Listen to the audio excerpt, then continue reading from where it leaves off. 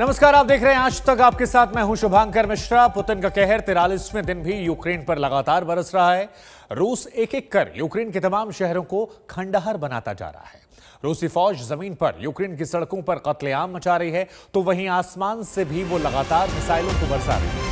आपको बता दें कि यूक्रेन की सड़कों और गलियों में रूसी फौज का कत्लेआम लगातार जारी है। इधर यूक्रेन ने एक बार फिर नाटो के दरवाजे पर दस्तक दी है और यूक्रेन के विदेश मंत्री नाटो मुख्यालय गए और वहाँ पर गुहार लगाई कि उनके देश को सिर्फ़ और सिर्फ़ हथियार दिए जाएँ और ये हथियार भी, ये डिफेंसिव हथियार ना हो, ये हथियार अटैक करने वाले हथियार हो। क्योंकि अगर बर्बरता से बचाना है, अगर कत्लेआम से बचना है तो फिर वो हथियार चाहिए जो नरसंहार के खिलाफ पलटवार कर सकें रूस को करारा तोड़ जवाब दे सकें।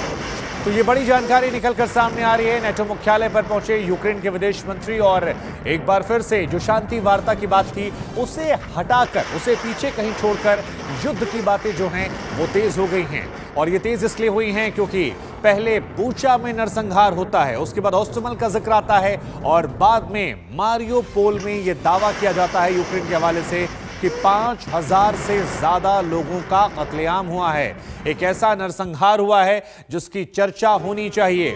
ओस्तमल में भी बूचा जैसी घटना नहीं थमे हमले, बूचा पर हाहाकार और पुतिन की बेटियों पर शिकंजा। तो ये चार तस्वीरें जंग के तिरालीसवें दिन की बड़ी अपडेट। लेकिन इन सब के बीच में एक तरफ़ जहाँ इंटरनेशनल कोर्ट में रूस और पुतिन पर तमाम तरह के सैंक्शन उन्हें युद्ध का अपराधी होने का तमगा दिया जा रहा है, उन पर आरोप लगाए जा रहे हैं वेस्टर्न कंट्रीज़ और यूक्रेन के हवाले से। तो वहीं दूसरी तरफ़ अगर आप बात करेंगे तो लगातार जंग को लेकर यूक्रेन दुनिया से गुहार लगा रहा है कि अभी भी समय है। इस नरसंहार की जो शुरुआत हुई है, इसको रोकने का समय है। अगर आप वक्त रहते मदद करेंगे तो ऐसा हो सकता है कि हम पलटवार कर सकें। और ये तमाम बड़ी जानकारियाँ जो है, ये निकलकर सामने आ रही हैं।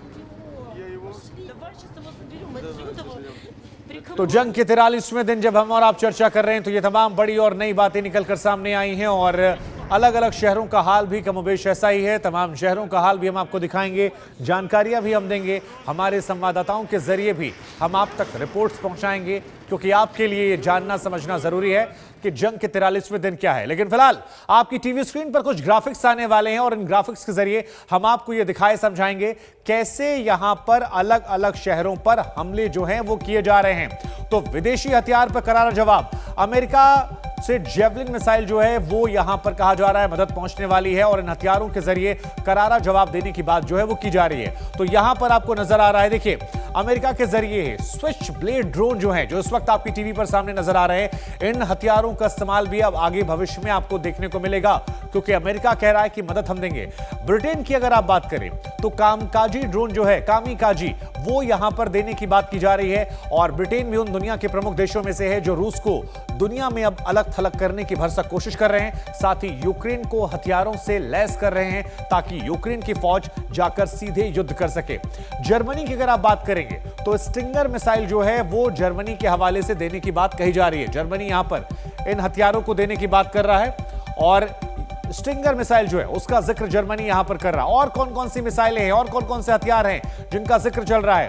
तो देखिए, स्लोवाकिया की तरफ़ से S three hundred defence system, यानी एक मज़बूत डिफेंस सिस्टम जो है, उसको देने की बात की जा रही है। तो चाहे वो आत्मरक्षा की बात हो या पलटवार करने की, दोनों तरह के हथियार जो हैं, वो दुनिया के तमाम अलग अलग मुल्कों से निकलकर सामने आ रहे हैं। और इन हथियारों के दम पर अब यूक्रेन कह रहा है कि इस नरसंहार का बदला लिया जाएगा, बड़ा बदला लिया जाएगा।